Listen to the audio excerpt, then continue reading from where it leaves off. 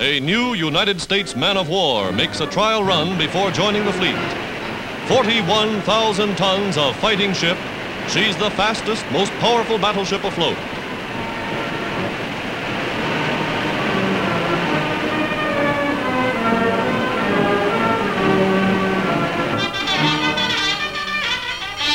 The bugle sounds general quarters, and 2,000 trained men go to battle stations to test the big guns.